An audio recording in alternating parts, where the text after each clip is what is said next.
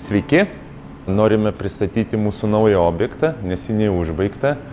A, tai yra restoranas, pizzeria, Pizza Max, įsikūręs Žirmūnuose.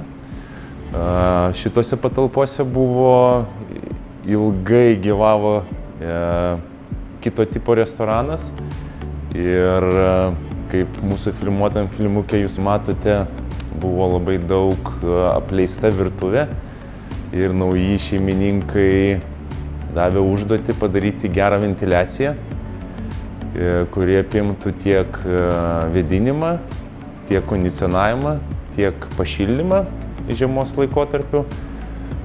Pasitikėjo mumis ir įrengėm atrėję vėdinimo sistemą skirtą virtuvių linijai kuri būtent apima šildymą, vėdinimą, kondicionavimą. Dizainerė uždavė tokią užduotį, kad pakabinamų lubų restorane nebus įrengta ir ortakiai turi eiti atvirai. Pasiūlėme dėti oro tikimo ortakį ant lubų, nudažant jį pagal interjero spalvas. Oras yra tiekiamas į lankytojų patalpas, kuris yra pašildomas, išvalomas, vasaros laikotarpiu pavėsinamas.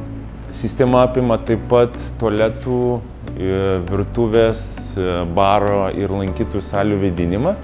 Sistema projektuota taip, kad oras tiekiamas yra lankytojų salė, o šalinamas iš restorano virtuvės patalpų nuo gaubtų ir bendrų patalpų. Sistemos našumas parinktas pagal lankytojų skaičių. Buvo vertintas galimas didžiausias lankytojų skaičius ir, ir išvestas vidurkis, sakykime, vienam lankytojui patiekti 36 kubus per valandą oro. Taip parinkta vent kamera, kuri būtent tiekia ir šalina orą iš patalpų.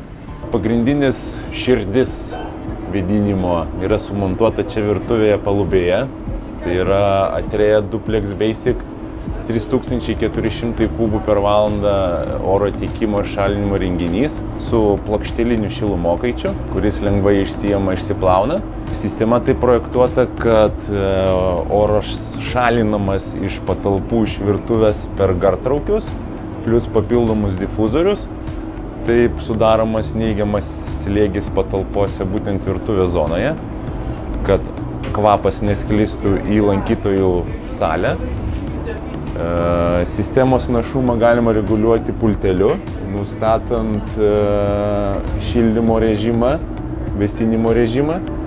Šiuo metu yra tiekiamas, yra nustatyta 23 laipsnių temperatūra, kad palaikyt patalpose. Taip automatiškai sistema parenka, ar reikia vėsinti ar šildyti.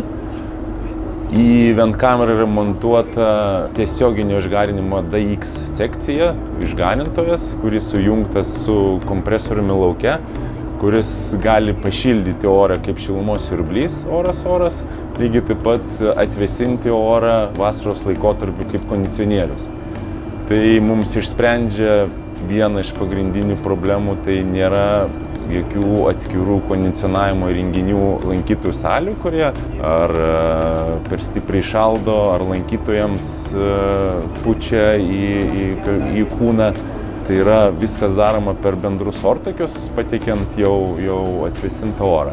Būtent dabar jau, kai laukia yra vėsesnis oras, matome, kad sistema yra užsidegus ugnelė, tai jinai kažkiek tai pašildo orą.